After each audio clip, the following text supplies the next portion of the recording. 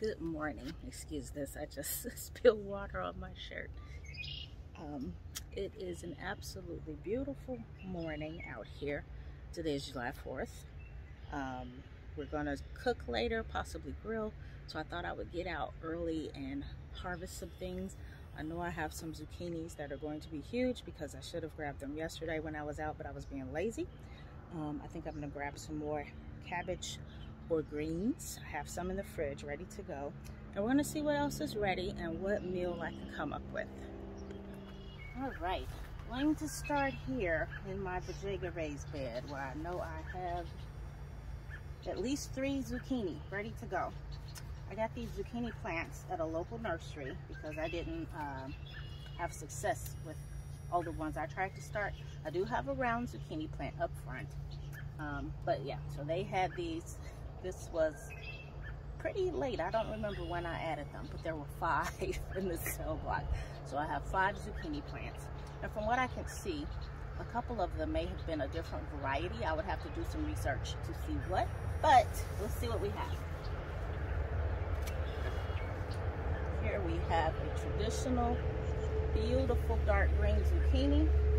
Looks good. A little bit of damage right there. That looks like from probably just getting scratched or something. Oh, I forgot my basket. One second. might as well have a seat. so that's one. There's another one on this plant. Hope I can get it without damaging anything else.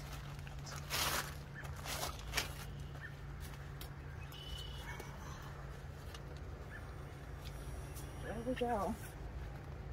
Ooh, look at that beauty.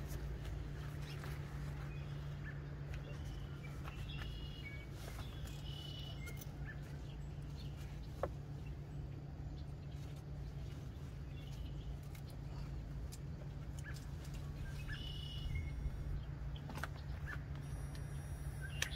need to check the plant in the back.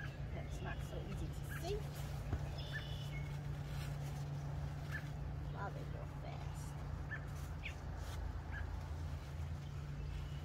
Two on there that are doing well. There's another one on here that can stand a couple more days. And uh, this plant, oh, there's another one. So they are cranking them out. Now let's go to my other bed where I know I have one ready.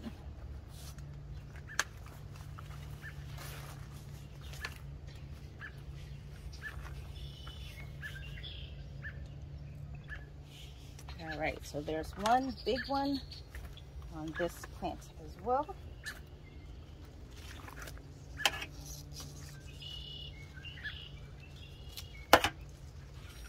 Another thing I'm going to do today, look at that, beautiful, is spray everything with BT again. It's been doing a great job so far of keeping the cabbage moths and other worms and things at bay. Um, let me give you a closer look at these. Look at those beauties. I'm so happy. Over here we have some kale, lots and lots of beautiful kale ready to go. Uh, some of these, I believe that's a broccoli.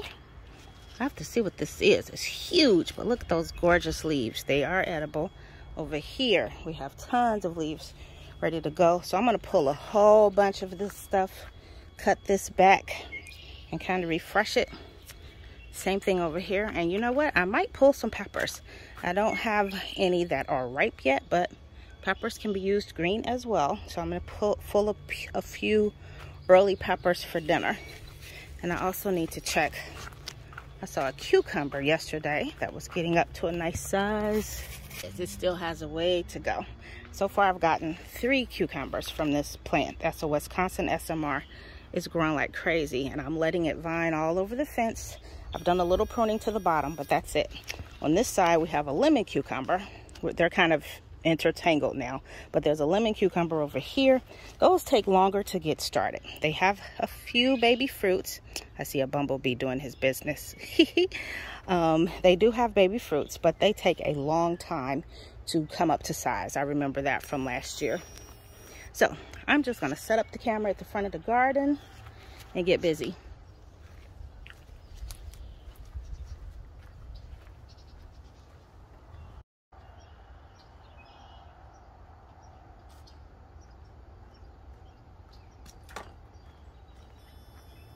Decided to check for potatoes. Got a perfect red potato that I just accidentally scraped while harvesting. So we'll be eating that. Over here we have my GreenStalk where a lot of my beautiful leaves have been decimated by flea beetles.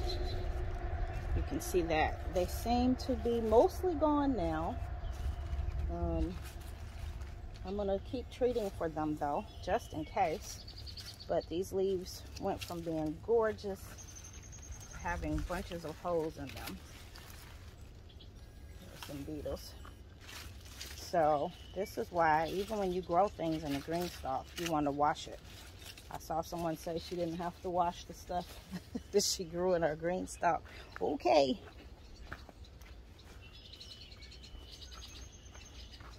But um, the other thing is, as you can see, lots of these plants. This was Southern Giant Curled Mustard, letting it go to seed. Look at the pods. So these pods will dry up and they will become seeds. One thing I'm thinking about doing is just getting a planter or um, a grow bag and moving all of these plants that I'm purposely let going go to seed into it so I can put something new in these pockets.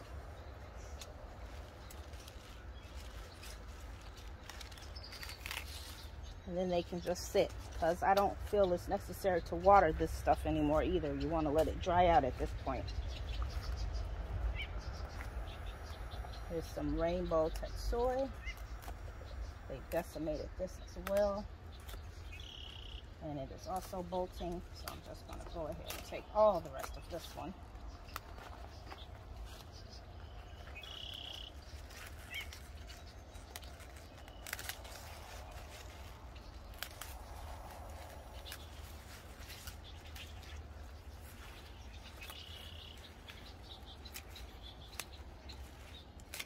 I hate the leaves with holes in them. I really had to change my mindset about still eating them. There, there are some that are not so bad. The ones that are like just beyond recognition, I put those in compost.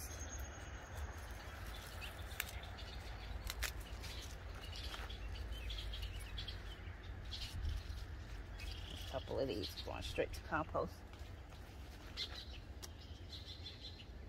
If I had chickens, then I'd feed the chickens.